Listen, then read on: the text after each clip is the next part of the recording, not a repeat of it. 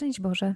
Magdalena Jóźwik z Archidiecezjalnego Centrum Formacji Pastoralnej w Katowicach. Zapraszam na podcast Wiarygodni. Naszą wakacyjną propozycją jest Biblia na wakacje. Jest ze mną dzisiaj siostra doktor habilitowana Joanna Nowińska. Witam Cię serdecznie. Witam serdecznie Madzia.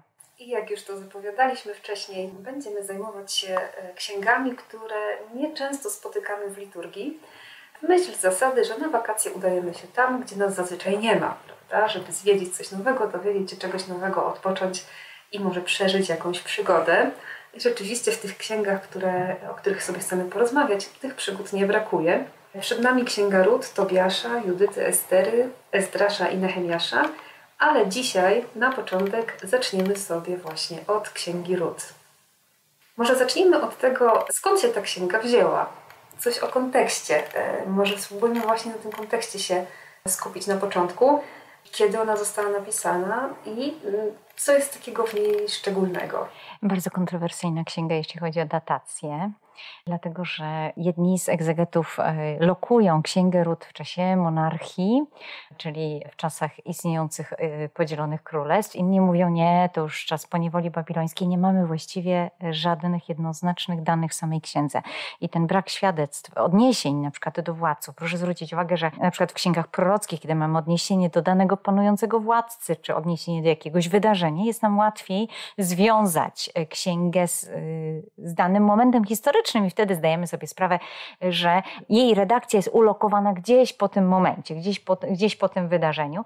Natomiast tutaj nie mamy żadnych wskazówek w samym tekście księgi. Lokalizacja w tekście biblijnym, w kanonie biblijnym, no to jest między sędziami a e, księgami królewskimi i e, zaliczana jest e, sama księga, coś ciekawe, do pism a nie do proroków. Mogłaby być zaliczana do tych proroków e, starszych, jak to e, tekst e, hebrajski Tanaku dzieli.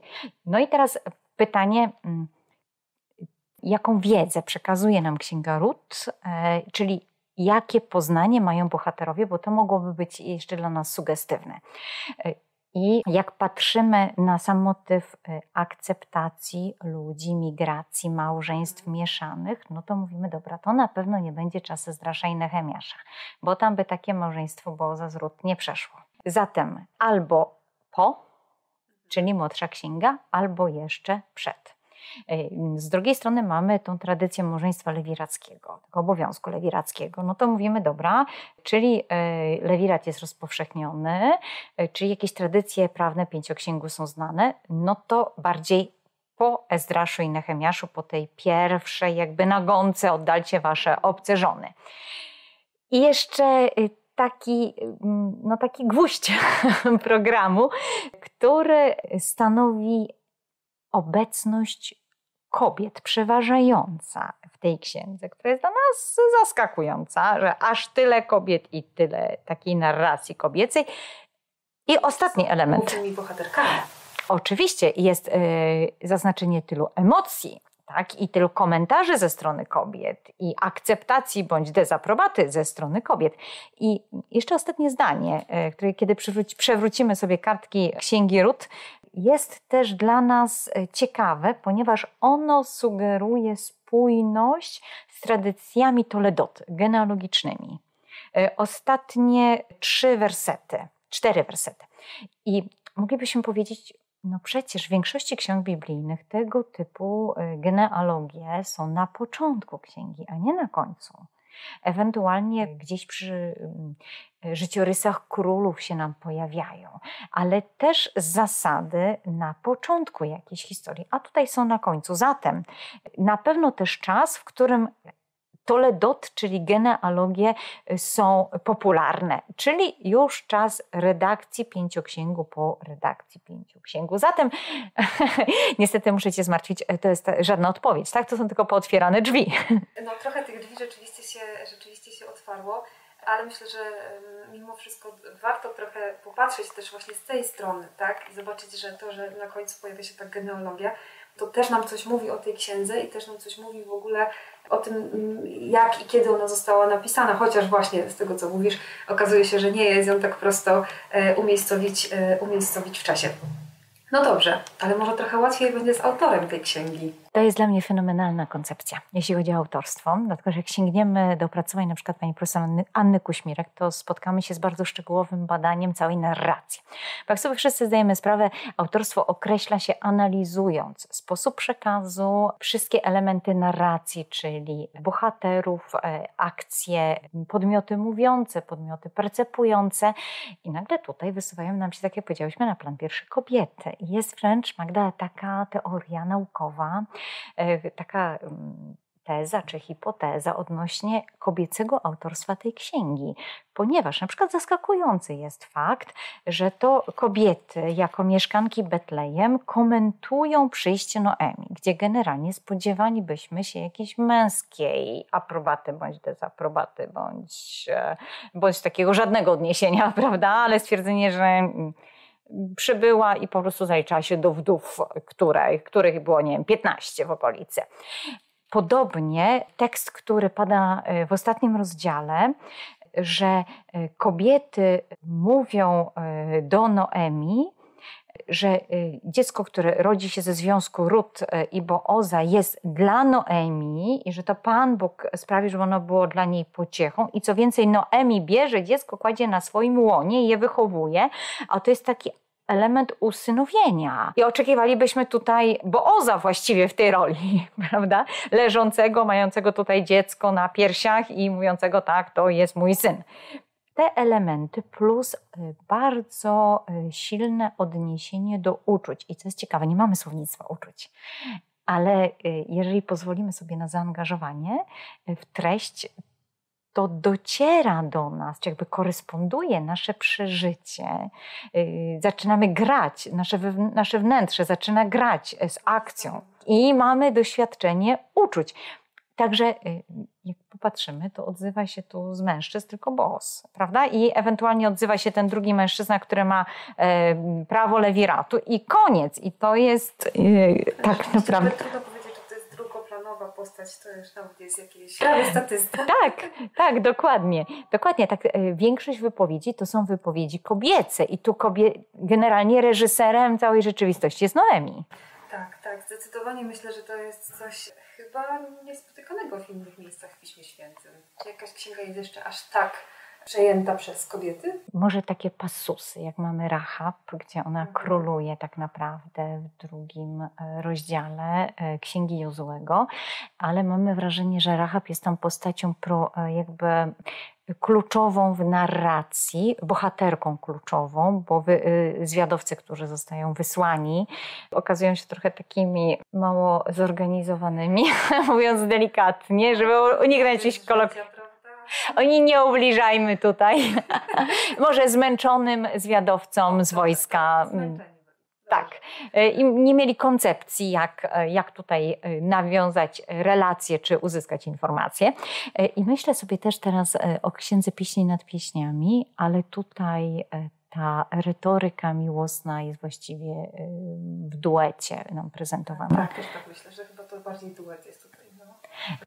Poza tym paralel innych mm, nie mamy stanowczo. Nawet Judyta. Judyta jest tak naprawdę, Judyta mimo, że jest główną bohaterką, to pobrzmiewa tam cały czas opinia narratora. Bardzo silnie, który jednak buduje nam takie przestrzenie kontrowersji, no ale o tym zostawimy sobie Judytę potem na czas omawiania księgi. Tak, y, słuchając Ciebie zastanawiam się, czy Żydzi nie mieli problemu z tym, że ta księga została napisana przez kobietę? Jeśli tak było, w sensie tak chodzi mi o taki wymiar społeczny. To nie jest teza, która pochodzi z czasów e, starożytnych. To jest teza dzisiejszych egzegetów w oparciu o badania tekstu. Ale jeżeli ona jest prawdziwa. Nie, starożytny człowiek nie zajmuje się autorstwem. Ona jest absolutnie drugorzędna. Istotą jest przekaz. Mm, I ten przekaz e, jest postrzegany, jest tak percepowany jako komunikacja e, ze strony Pana Boga. W związku z czym, jeżeli Pan Bóg mówi o sobie w tekście Izajaszowym wcześniejszym, stanowczo niż Rut jestem jak matka, czy Jeremiaszowym, no to nie ma problemu. W sumie tak sobie myślę, że nawet jeżeli, nawet um, jeśli Bóg przemawia przez oślicę, prawda, no to chyba tutaj rzeczywiście na tym autorstwie e, i na tym, kogo Bóg wybiera do swojego działania, do, do swojego przekazu, faktycznie e, to jeszcze chyba bardziej potwierdza też to, to, to Boże działanie. To, tak, poza tym zobacz, mamy Księgę Lamentacji, gdzie wyraźnym podmiotem lirycznym jest uosobiona Jerozolima, która ma takie różne odsłony, różne maski wdowy, kobiety opuszczone i tak dalej. E, I mamy też taką narrację klasycznie, moglibyśmy powiedzieć, damską. Podobnie w tych wszystkich takich tekstach e, prorockich, gdzie autorzy korzystają z obrazu właśnie takiego Bóg i jego umiłowana miasto, umiłowane miasto, umiłowana córka, córa Syjonu. I też jakby nie przeszkadza nam to, prawda? Myślę, że to jest też ciekawe, bo, bo tak naprawdę jak wchodzimy w tekst, dajemy się, e, się pociągnąć, zaangażować, no to, to wszystkie te rzeczywistości stają się drugorzędne, priorytetem staje się przeżycie, spotkanie. No rzeczywiście tak jest, bo tak sobie myślę, że E, to, o czym wspomniałaś na początku, żebyśmy się dali zaangażować w tą historię, żebyśmy się dali zaangażować w to, co się dzieje, w to, co przeżywał ten bohater, w tą sytuację jego życiową, to faktycznie trochę nas wszystkich stawia w takiej perspektywie doświadczenia po prostu ludzkiego. Tak? Że każdy z nas może mieć takie doświadczenie, jak miał Abraham, tak? jakiegoś wyjścia czy jakiejś próby, że możemy mieć y, doświadczenie właśnie ród, tak, jej historii, albo Noemi i jej historii. I tutaj niezależne jest to od tego, czy jesteśmy mężczyznami czy kobietami, bo chodzi o doświadczenie, o relacje, a nie tyle o to, y, y, że pewne fragmenty Biblii są dla panów, a pewne fragmenty Biblii są dla pani, prawda? Dokładnie. Wiesz, myślę sobie jeszcze o tym, że to jest kwestia kondycji, w jakiej jesteśmy w danym momencie i doświadczeń, które w tym momencie mamy. Y, one albo korespondują z opisaną sytuacją biblijną, coś nam zagra, i wtedy jakby ta rzeczywistość się nam bliższa bądź kłująca. I, e, I to jest też, e, myślę, fenomen natchnienia tekstu biblijnego, że za każdym razem, kiedy czytamy, to e, odsłania nam się rzeczywistość obecności Pana Boga żywej, absolutnie nowa, ale dlatego też nowa, że my jesteśmy nowi, inni, prawda? A zarazem mamy do czynienia z Bogiem, który jest nieskończenie twórczy przez swoje słowo. A z innej strony jest też tak, że niektórych doświadczeń biblijnych nie rozumiemy jeszcze teraz bo jeszcze nie jesteśmy w tym momencie na przykład swojego życia, tak? albo jeszcze takich rzeczy żeśmy nie przeżyli. I dzisiaj czytamy pewne teksty i zastanawiamy się, no tak, jest to jakaś historia, ale nie umiem w to wejść, nie umiem w to zaangażować, bo jeszcze mnie tam nie ma, prawda? W relacji z Bogiem, w jakiejś dojrzałości życiowej. I chyba trzeba się też trochę na to zgodzić, że tak jest, że my jesteśmy też takimi pielgrzymami w drodze i ta, mm, ta nasza relacja ze Słowem Bożym, ona się ciągle rozwija, przez słowo oczywiście z samym, z samym Bogiem. I dopiero w pewnym momencie możemy zrozumieć, o co chodziło w tym doświadczeniu, które mamy opisane w Piśmie Świętym. Tak, stanowczo się z Tobą zgadzam. Tak sobie myślę teraz o Rut, właśnie jako o kobiecie, która wchodzi, jakby decyduje się wejść w absolutną inność, prawda, w taką pozycję kogoś no, przekreślonego, obcego w danej społeczności i to jeszcze w kondycję kobiety pozbawionej męża, wdowy, młodej wdowy. Więc generalnie w, naszym, w naszej społeczności powiedzielibyśmy no jeszcze mnóstwo otwartych perspektyw, a w społeczności starożytnej no lewirat ewentualnie, no ale z cudzoziemką to niekoniecznie. To jest też taka chyba przestrzeń, gdzie człowiek staje wobec doświadczenia drugiego człowieka i z takim szacunkiem wobec Boga, który w tym doświadczeniu drugiego człowieka okazuje się naszym oczom tak mega delikatny, prawda? Taki, taki dyskretny. Niesamowicie. Nie wiem, czy masz takie wrażenie też. Wiesz, myślę, że patrząc na tą postawę ród wobec teściowej, to trzeba chyba tutaj podkreślić, że to jest postawa synowej wobec teściowej. Nie wiem, jaki ty masz ogląd na teściowe, ale tak patrząc po moich znajomych, to różnie z tym bywa i po rodzinie również E, natomiast, że rzeczywiście mam takie wrażenie, że Ruth dała się pociągnąć tak właśnie delikatnie przez Boga, dała się pociągnąć takiemu doświadczeniu czystej miłości bliźniego. Bo ona naprawdę nie miała interesu w tym, żeby iść z Naemi. Mogła sobie wrócić do rodziców. Wyszło jej życie, no to pokujemy się i wracamy, prawda? Tak, ja propos tego powrotu właśnie do rodziców, zwróćcie uwagę, jaki to jest świetny tekst, bo pada stwierdzenie ze strony Noemi, wróć e, i, do Or, i do Rut, i do Orfy, wróćcie do domu swojej matki, prawda? To jest, nas też zaskakuje, tak, tak. Bo normalnie mamy przecież sformułowanie do domu ojca, który będzie cię żywił i tak dalej, i tak dalej, i będzie się tą zajmował, nie ma innego wyjścia, ale to do domu swojej matki, więc e, z jednej strony jest to też sugestia tego właśnie kobiecego autorstwa, a z drugiej strony możemy powiedzieć, to jest też trochę taki zgrzyt, bo nagle się okazuje, że Noemi sugeruje, że ok, wracacie, ale też nie wiecie, gdzie możecie wrócić, a może nawet nie macie dokąd wrócić. No tak, także jednak to nie jest e, powrót do ciepłego domku. Tak, tak. E, powrót w, równie trudne realia, aczkolwiek do siebie. Tak. Co nie? Więc kulturowo będziemy akceptowani, a nie będziemy migrantami. Tak, tak. Jednak e, jeśli chodzi o ten kontekst społeczny, to faktycznie mimo wszystko zostanie tam w tej ziemi byłoby dla Ruth bezpieczniejsze, bo to jest przynajmniej to, co zna. To jest na pewno to, co zna, to, co jest jej, a tutaj no, decyduje się nie dość, że na życie z teściową. tak. jeszcze mhm. w obcej ziemi, tak, i jeszcze z łatką przyszytą. A z drugiej strony mamy też pewien nimb tajemnicy, mhm. bo y, tak naprawdę popatrz, Orfa rozmawia z Noemi. I zobacz, mamy tutaj opisaną najpierw reakcję Orfy. I mamy takie wrażenie, że mówiącą jest tylko Noemi, a nie ma żadnej najpierw wypowiedzi, gdzieś do wersetu 15, żadnej wypowiedzi e, ze strony Rut. Ono dopiero jakby w samej puencie odsłania swój zamiar. Czyli nie, nie zostajemy wprowadzeni w dialog. Jakby autor natchniony mówi: Ja traktuję sytuację selektywnie, bo chciałbym Was tylko zaprosić do pewnego doświadczenia. Prawda? Nie zamierzam Wam tutaj charakteryzować całego biogramu y, czy takiego właśnie day by day, prawda? Czasu y, Rut y, i Noemi. A druga rzecz, myślę sobie, ta konstatacja ze strony Rut. Dlaczego idę?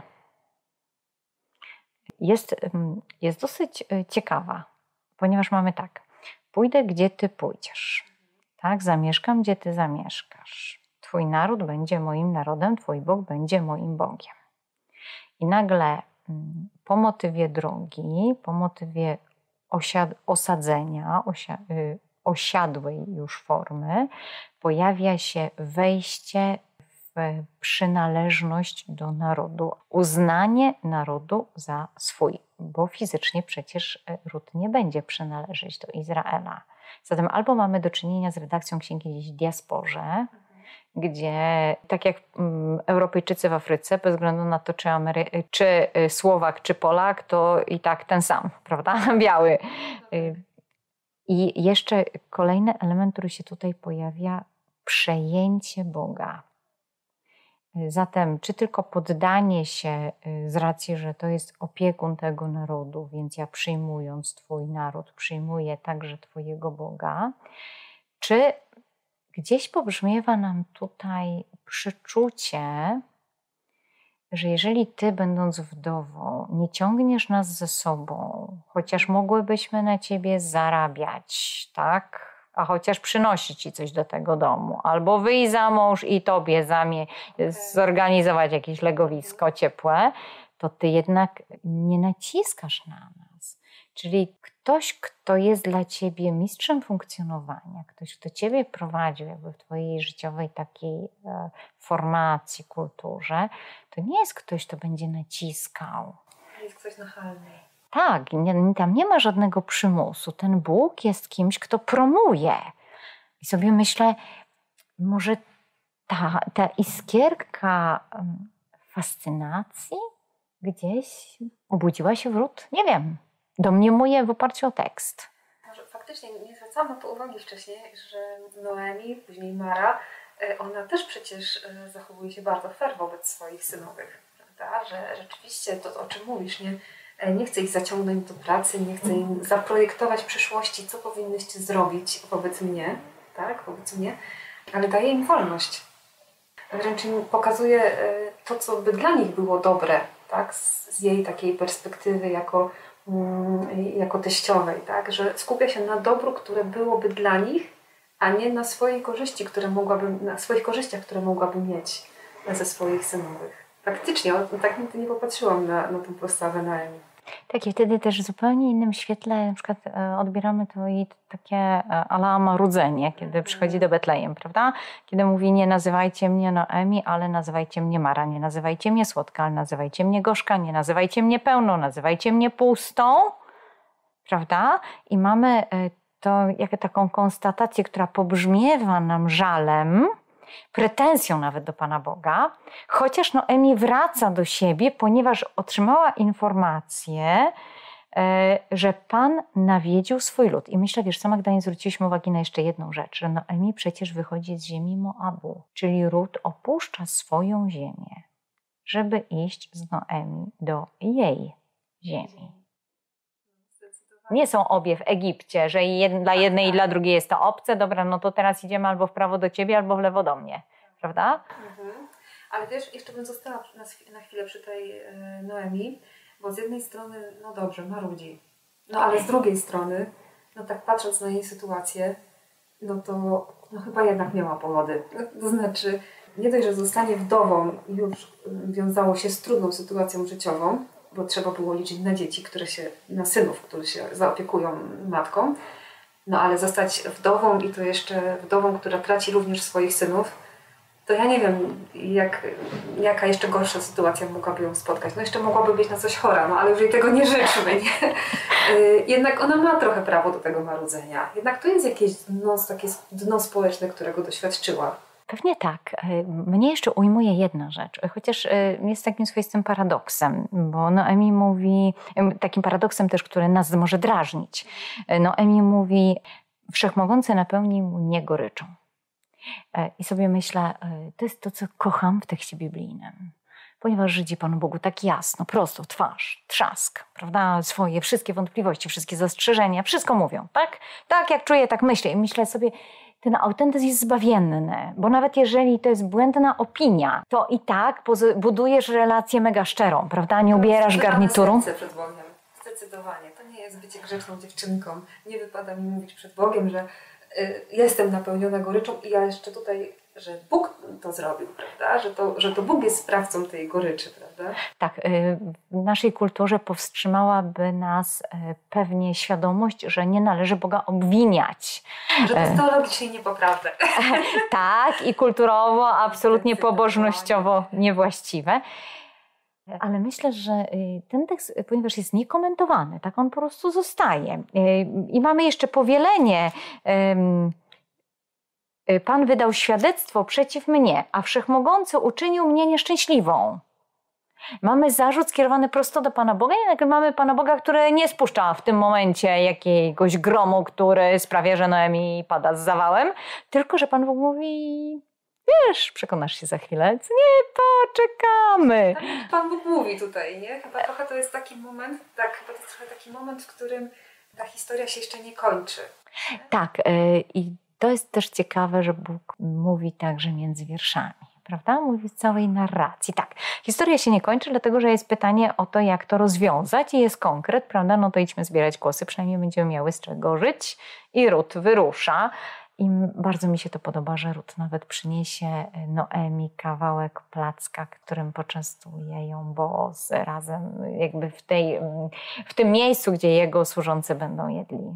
Niesamowite to jest. To pokazuje takie pokazuje, że Ruth myśli o Noemi, że jest z nią bardzo związana, prawda? Że to jest dla niej ktoś ważny, z kim się chce dzielić wszystkim, co ma. Więc... Dokładnie wszystkim, prawda? Nie tylko chce zarobić na nią, przynieść jakąś wypłatę, tak, do domu, e, tylko nawet coś, co uzyskała jako taki dodatek, prawda? Mający ją wzmocnić w pracy, ten przyniesie. To jest chyba też jeszcze takie ciekawe w tej księdze i w tej opowieści, bo e, no, tak jak już powiedziałyśmy, Noemi marudzi, więc nie jest łatwą teściową też, nie? Tak, no, nazwijmy to jakoś um, tak wprost.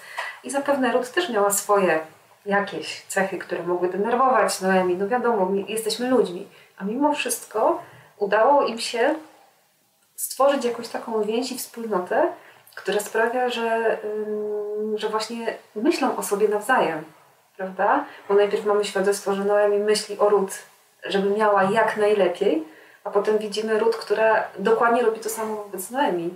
chce się z nią dzielić wszystkim, to pokazuje naprawdę taką głęboką wspólnotę między nimi.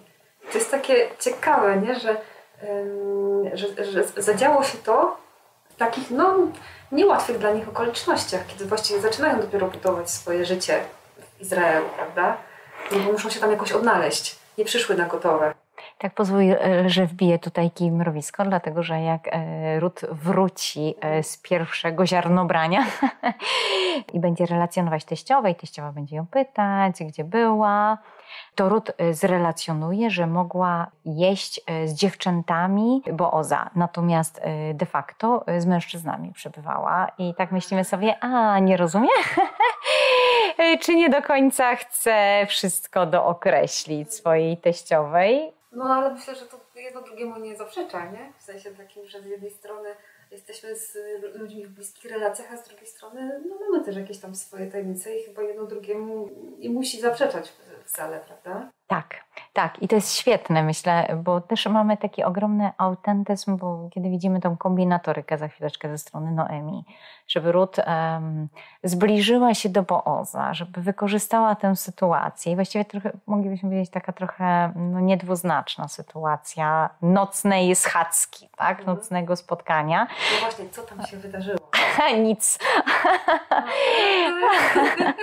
E, tak, żadnych konotacji seksualnych nie ma to wydarzenie. Tak, nie ma dowodów, natomiast pozycja sama, w której e, ród układa się przy Boozie jest taką pozycją klasycznie małżeńską.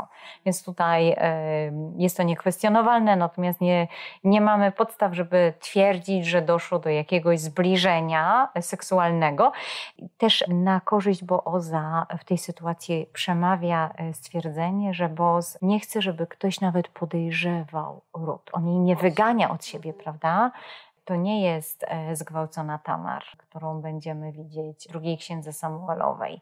E, to jest kobieta, którą Boaz chce ochronić, żeby nikt jej nie podejrzewał, że jest jakąś kobietą łatwą. Przyszła do niego w nocy i trzy kropki, lecz mówi jej e, weź ziarno, to będzie dowód też, moglibyśmy dopowiedzieć tego, że byłaś zbierać kłosy.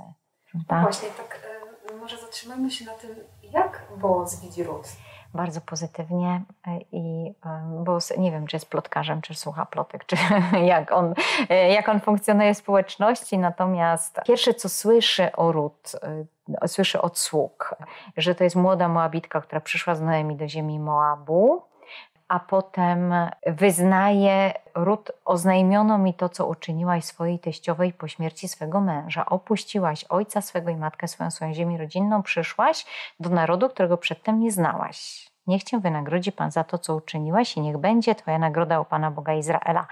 I jakby widzimy tutaj te elementy, które dla Żyda są ważne. To znaczy y, fakt opuszczenia swojego, swojej ziemi rodzinnej. No tak, znamy to już z innych ksiąg.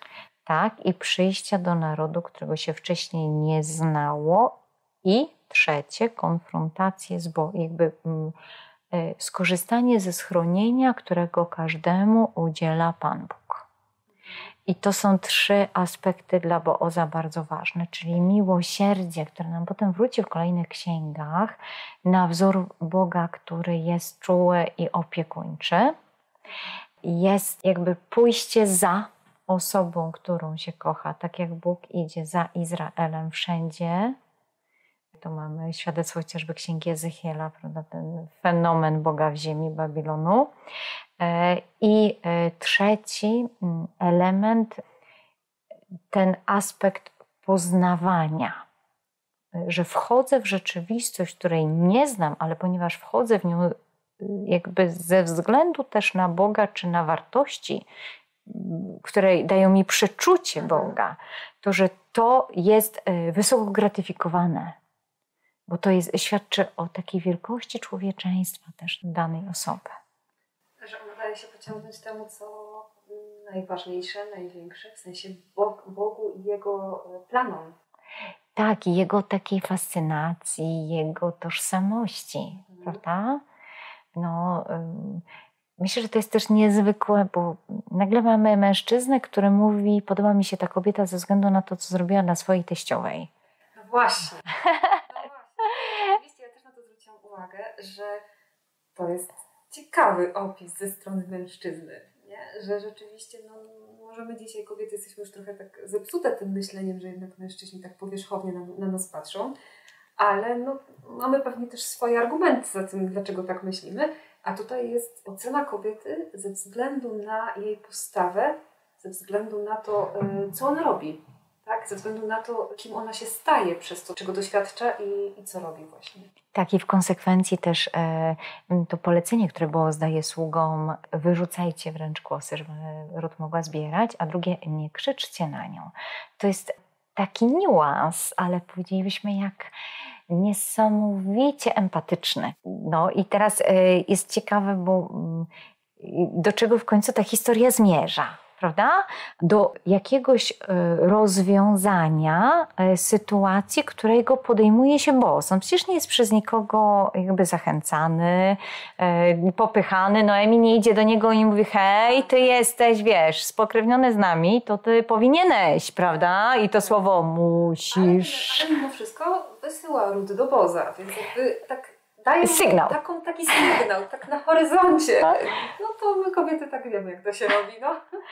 E, tak, i Boaz też świetnie sprawę rozgrywa, dlatego że kiedy konfrontuje się z tym drugim mężczyzną, który ma pierwszeństwo mhm. tego przejęcia i pola, i żony, i najpierw mu dookreśla, że jest pole do wzięcia. I... No to jest sprytne, że zaczyna od tego pola.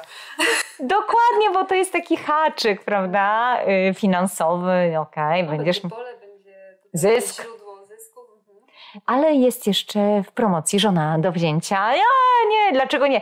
Prawda? I to jest niesamowite, bo zobacz, e, ten opór wobec żony jest związany z faktem, że zadaniem mężczyzny było żonę ubrać, wystroić w klejnoty, ponieważ żona to była jego wizytówka. No dobrze, dobrze, na tym się zatrzymajmy, bo z jednej strony myślę, że wiele pani właśnie teraz puści ten fragment swoim mężczyznom, żeby wiedzieli, jakie są ich obowiązki, ale z drugiej strony tak mi się trochę kołacze w głowie, czy to nie jest takie przedmiotowe potraktowanie kobiety, że wystarczy, żeby ładnie wyglądała? Kobiety nie miały kieszonkowego, nie miały też swoich zarobków. No, to jest jakiś argument. Więc kobieta sama nie mogła jakby sobie zakupić ze swoich oszczędności, z jakiegoś podziału majątkowego. Dopiero w przypadku wdów takich bogatych jak Judyta będziemy mieli z tym do czynienia. Chociaż Judyta też się ubiera w szaty, które w większości ma po czasie bycia z mężem. Druga sprawa, żona jest widziana zawsze w optyce męża jako przynależąca do danego mężczyzny pierwszorzędna czy drugorzędna, ale jest. I teraz, jeżeli ona przynależy do danego mężczyzny, no to jest wersja, jeżeli to jest twój samochód, tak, i po prostu jest rozklekotany, zardzewiały, e, no to. Mm, Coś można sobie o tobie pomyśleć. Tak, albo brudny, to jakby. Mm, oczywiście y, zdajemy sobie sprawę, jak y, okrutna potrafi być opinia publiczna i że wielokrotnie błędnie to wszystko jest oceniane, ale jakby to e, tak, i chciałabym jakby zwrócić tutaj uwagę na to, że my rejestrujemy takie fakty, że nawet jeżeli nie oceniamy osoby, co daj Boże, myślę, że do tego trzeba dążyć, to jakby rejestrujemy fakt, że to jest na przykład tej osoby samochód. I to jest identycznie, rejestrujemy, to jest jego żona. Dlaczego ona jest zaniedbana? Dzisiaj byśmy powiedzieli, co jej się dzieje, tak? Ale jeżeli widzimy ją z mężem, to automatycznie nasuwa się pytanie, a czy on coś robi, żeby jej było lepiej? O, no, no, no, to już. tak, dlatego y, kiedy mamy do czynienia z traktowaniem żony jako wizytówki, to nie jest to element przedmiotowy e, traktowania kobiety, taki aspekt przedmiotowy traktowania kobiety, ale mamy tutaj do czynienia z e, ukazaniem, że my stanowimy jedno w relacji. W związku z czym, jeżeli to jest moja żona, o to nie jest moja koleżanka to jest moja żona, zatem stanowi część mnie, będą jednym ciałem. E, czyli jeżeli to jest część mojego ciała, to automatycznie jakby e, należałoby, żeby była w podobnym utrzymaniu, zaopatrzeniu, zadbaniu. Trochę mi się tak kojarzy to z takim, y, z takim wzięciem odpowiedzialności za drugiego, który właśnie ze mną jest jednym, tak? ale też y, y, z miłością, która mm, z jednej strony jest miłością do siebie i dlatego też do bliźniego, tak? bo ten ktoś jest właśnie tym jednym ze mną. Tak, a z drugiej strony no, uwagę przyciąga kobieta. I pierwsze pytanie, jak patrzę na przykład na księgę rodzaju, czy ja to żona, mhm. prawda? E, to nie jest pytanie, e, czy ja to córka, prawda? Czy tak. jakby z, jakiego kraju ona jest? To jest pytanie, czy ja to żona. Kto ma taką fajną żonę? Ale to jest myślenie starożytnych, prawda? Więc myślę, że dla nas też, no też takie ciekawe, niemniej, bo genialnie wybrnie z tej sytuacji, bo tak ustawi ten dialogizmos, prawda, tą dyskusję, że żona przeważy e, i dzięki temu nastąpi przekazanie pola, przekazanie żony, i Boaz powie do starszyzny, świadkami jesteście, nabyłem z rąk Noemi to wszystko, co należało do Eli Meleka i wszystko, co należało do Kiliona i Machlona, a także nabyłem dla siebie za żonę Rut Moabitkę, żonę Machlona, żeby utrwalić imię zmarłego na jego dziedzictwie, by nie zginęło. Jesteście dla mnie świadkami w tej sprawie. To jest też niesamowite, bo jakby mamy Booza, który mówi, ja chciałem wszystko klarownie zrobić. Tak, żeby nikt nie miał wątpliwości. Żebyście mieli wszyscy świadomość, że to jest uczciwe. Zgodne z prawem. Tak. I że świadome. Mhm. I właśnie na końcu myślę, że y, jeszcze o tym porozmawiajmy chwileczkę. Ta księga w pewnym sensie ma trochę w sobie sprzeczności, bo z jednej strony, tak jak powiedziałam przed chwilą, Boc postępuje zgodnie z prawem, ustawia to, no ale generalnie mieści się w prawie, a z drugiej strony no, bierze sobie za żonę Rut Moabitkę. Moabitkę. O tym tutaj e, myślę warto, warto pamiętać. Czyli mamy tu jakieś przełamanie schematu. Mamy jakieś przełamanie w ogóle no, tradycyjnych konwenansów, można powiedzieć, prawda? I, I o tym jeszcze, o to jeszcze bym chciała zapytać, że właśnie Biblia jest pełna tego przełamywania schematów prawda? A z drugiej strony, potem jak patrzymy na Ewangelię, patrzymy na uczonych w piśmie, patrzymy na faryzeuszów, i oni nie chcą przełamać tych schematów. Tak, to jest ludzka postawa, prawda? A tutaj e, jakby pytanie jest o źródło. Dlaczego e, człowiek puści przestrzeń zabezpieczającą, jakby formującą jego opinię o sobie samym, czy e, jakby ustalającą jego status quo, a kiedy będzie się tej przestrzeni trzymał. I e, mamy faryzeuszów, którzy swoją pseudoświętość, tak idealność, doskonałość budują w oparciu o to, jak siebie zakwalifikują w codziennym działaniu, czyli jestem ok, tak? Mhm. To Antony de Mello gdzieś mi pobrzmiewa, który mówił, tak, ja jestem ok, ty jesteś ok, czyli ja jestem osłem i ty jesteś osłem, prawda? E, czyli ta kwalifikacja nie jest nic warta, bo to jest szukanie dyplomu który, dla rzeczywistości, które nie są istotne. A Stary Testament otwiera nam cały czas przestrzeń na Boga. I problem faryzeuszów to jest właśnie to, e, co Jezus zaznacza, e, groby pobielane czyli smród, który jest rozkładającej się kości, który jest na, zewnątrz, ma na zewnątrz zupełnie inny i masz. Mamy sugestię oszustwo, obłuda, hipokryzja, prawda, obłudnice, hipokryci, zakrywajcie się maską. A y, w Starym Testamencie mamy taki ogromny akcent na to, y, bądź autentyczny. Nie zbudujesz nic, udając. Czego bronisz? Swojego status quo? Ale przecież czas leci, za chwileczkę to, czego, to co trzymasz, ono się po prostu rozsypie. Więc czy to jest mądre? Mhm.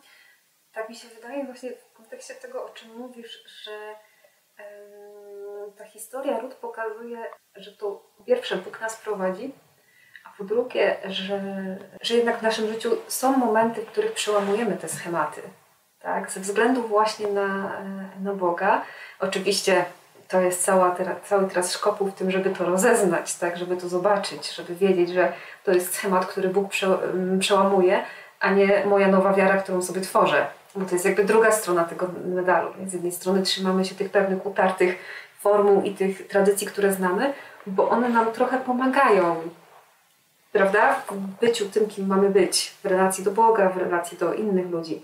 Ale z drugiej strony, no właśnie, i chyba to jest też opowieść o tej drugiej stronie, o tym, że no a co jeśli Bóg nas chce gdzieś wyprowadzić gdzieś indziej, prawda? Gdzieś, gdzieś, gdzieś dalej. Pytanie, czy my jesteśmy na to gotowi.